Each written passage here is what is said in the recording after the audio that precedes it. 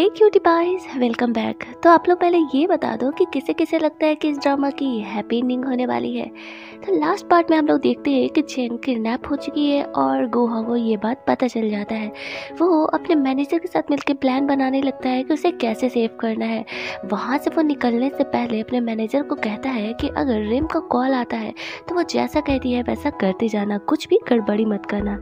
ये करके वो ऑफ़िस से निकल जाता है और इधर जो रिम होती है उसने वहाँ पर अपना कैमरा लाइव लगाया हुआ था ना तो यहाँ ऑफ़िस से वो चेंग पर नज़र रखे हुए थे कि कैसे उसके आदमी उसे बंदी बना करके रखे हुए हैं। वो गुहा को कॉल करती है और बोलती है तो अब तुम्हें सही लग रहा होगा ना, तुमने सीधे से तो मेरी बात मानी नहीं।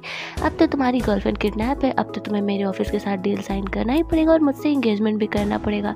तो फ़िलहाल गुहा उसे कुछ हाँ या ना में जवाब नहीं देता है। सबसे पहले तो गुहा जो है चेंग के सॉप पहुँचता है। वहाँ जाते ही ना जो उसकी फ्रेंड जिया होती है, वो तो पूरा उस पर भड़क जाती है। कि तुम्हारी वजह से ये चैंग किडनैप हुई है।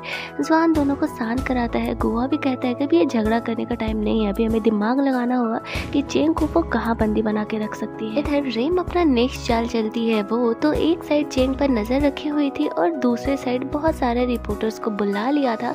ये अनाउंस करते हुए कि गोहा अपनी इंगेजमेंट और साथ में हमारी कंपनी के साथ डील साइन करने वाला है। ये रिवील करेगा यहाँ पर। तो वो वहाँ पर जाती है। वहाँ पर उसके साथ में गोहा का मैनेजर भी होता है।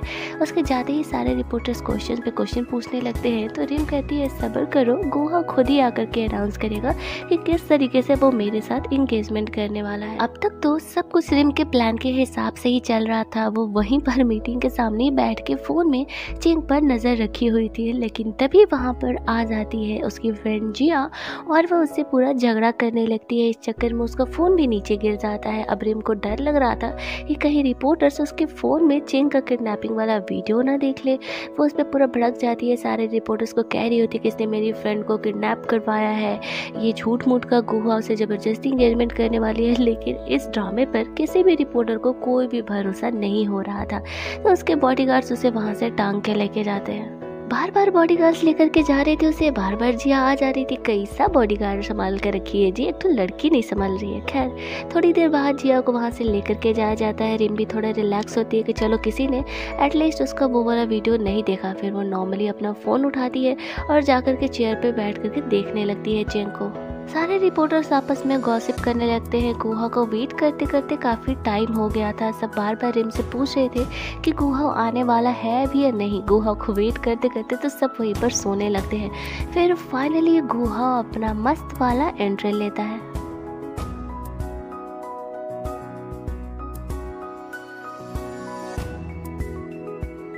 गुहा के आते ही सारे रिपोर्टर्स फिर से पूरा एक्टिव हो जाते हैं। गुहा से क्वेश्चन पे क्वेश्चन पूछने लगते हैं। रिम भी पूरा खुश हो रही थी कि चलो अब उसका प्लान सक्सेसफुल होगा। सब कुछ उसके प्लान के हिसाब से गुहा बोलेगा कि हम दोनों का एंगेजमेंट भी होने वाला है और हमारी कंपनी डील भी साइन करने वाली है। वो यही सोच करके पूरा गुहा से चिपक चिपक करके खड़ी थी कि बिल्कुल मस्त कपल वाले फ़ोटोज़ आएँगे।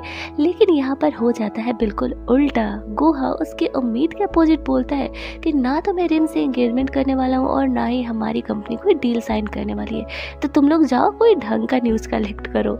न्यूज़ रिपोर्टर को तो मिल गए मिर्च मसाले वाले न्यूज़ अब रिम को आता है गुस्सा।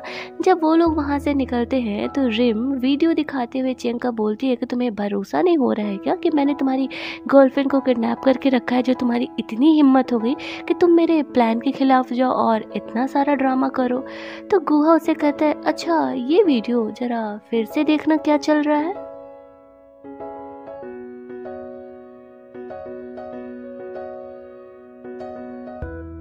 अब ये वीडियो देख करके रिम सॉक्ड की है। वहाँ पे जुआन कैसे पहुँच गया? मैंने तो उसे किडनैप करके भेजा था। वहाँ पर वो वीडियो दिखाता है कि इसके दोनों बंदों को उन्होंने बाँध के रखा है। कैसा बॉडी गार्ड रखती है यार, सच में। एकदम ढक्कन बॉडी गार्ड रखती है। वहाँ पर वो पूरा मज़े में था। एक्चुअल में अब तक चेंग किडनैप होने का एक्टिंग कर रही थी। अब रिम जानना चाहती है कि हुआ क्या था? तो फ्लैशबैक में गुहा उसे बताता है। कि ऐसा है ना कि दिमाग खाली तुम्हारे पास नहीं है। एक्चुअल में जब गुहा अपने शॉप पे मतलब चेंग के शॉप पे बैठ के सोच रहा था कि उससे कैसे बचाया जाए, वो कहाँ किडनैप हो सकती है? तो वहाँ पर जो उनका डॉग था प्लूटो वो उनका हेल्प करता है। वो चेंग के ड्रेसेस स्मेल करके निकल जाता है उसे ढूँढने के लिए। डॉग का तो स्मेलिंग पावर वैसे भी बहुत ज़्यादा होता है और उसके पीछे पीछे ये दोनों भी जाते हैं। काफ़ी दूर तक दौड़ भाग करने के बाद फाइनली वो लोग उस बिल्डिंग के पास पहुँचते हैं जहाँ पर चेंग नैप थी। ऊपर पहुँच करके वो लोग नोटिस करते हैं कि चेंग को चेंग के पास एक कैमरा है जिसके थ्रू रिम ने नज़र रखा हुआ है और दो बंदे वहाँ पर हैं। तो वो लोग दिमाग लगाते हैं। सबसे पहले जिया को कॉल करते हैं और प्लान बनाते हैं कि जा करके रिम का फ़ोन थोड़ी देर के लिए उसे डिस्ट्रैक्ट करो ताकि वो लोग यहाँ का काम कर सके। तो वही जिया स्टेज पर जा करके रिम से झूठ मूठ का फाइट करने का एक्टिंग करने लगती है, जिस वजह से उसका फ़ोन नीचे गिर जाता है। थोड़ी देर के लिए वो फ़ोन पर नहीं देख पाती है तो वही ये लोग जाते हैं। उसके बंदे को अच्छे से कूटते हैं। पूरा कूटने के बाद बाँध बाँध देते हैं। इसके बाद चेंग को वहाँ से बचाते हैं। लेकिन गुहा दिमाग लगाता है और कहता है कि अभी वो लोग उसे वहाँ से नहीं लेकर के जा सकते हैं तो उसे यहीं पर रहना होगा और एक्टिंग करना होगा कि वो अभी भी किडनैप ही है। इसीलिए वो फिर से उसे वैसे ही बाँध देता है और वहाँ पर उसका बॉडीगार्ड बन के रुक जाता है जुआन ये ड्रामा था तो हीरोइन बच गई। एक्चुअल में किडनैप होने के बाद बहुत कम ही लोग वापस लौट के आ पाते हैं। खैर, ड्रामा में वापस आते हैं। यहाँ पर बेचारी रिम का प्लान फेल हो चुका था, उसका मुँह बन गया था। लेकिन मुझे ये चीज़ समझ में नहीं आया कि गोहा ने उसे पुलिस के हवाले क्यों नहीं किया, उसे छोड़ क्यों दिया? खैर इसके डायरेक्टर की मर्ज़ी। अब जब विलन का काम कंप्लीट हो गया है तो ड्रामा के लास्ट में थोड़ा रोमांस हो जाए। तो आज ना, कुछ दिनों बाद का पार्ट दिखाया जाता है। आज चेंग का बर्थडे है और अपने बर्थडे वाले दिन भी वो नॉर्मली अपना काम वाम कर रही होती है। मॉम डैड से हैप्पी बर्थडे के विशेष लेने के बाद वो नॉर्मली अपना शॉप क्लोज करती है और शॉप से बाहर निकलती है। उसे तो कुछ भी नहीं पता था कि गोहा ने उसके लिए सरप्राइज़ पार्टी अरेंज की है। वहाँ पर गोहा एक मस्त सा केक लेके आता है।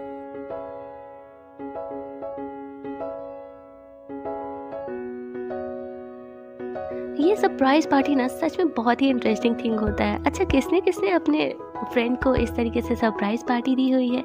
वहाँ पर चेंग के सारे फ्रेंड्स भी आते हैं। मस्ती में वो लोग उसका बर्थडे सेलिब्रेट करते हैं केक वेक कट करते हैं चेंग विश मांगती है। सब कुछ हैप्पी एंडिंग की तरह ही लग रहा था। वहाँ पर गोहा को चेंग से इतना ज़्यादा प्यार हो गया था कि वो उससे मिलने के कुछ ही दिन बाद उसे शादी के लिए सीधे प्रपोज कर देता है।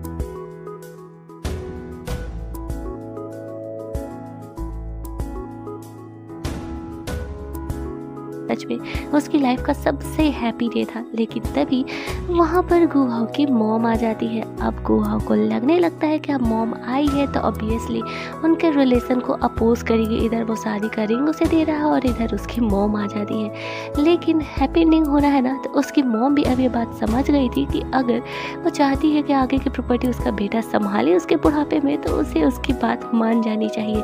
तो अब वो यहाँ पर कोई भी मेलो ड्रामा नहीं करती है और इन दोनों के रिलेशन को हैप्पीली एक्सेप्ट कर ली थी। तो इसी नोट के साथ हमारा ये वाला ड्रामा यहाँ पर कंप्लीट होता है। जल्दी ही मैं एक और इंटरेस्टिंग ड्रामा ले करके आने वाली हूँ। Thanks for watching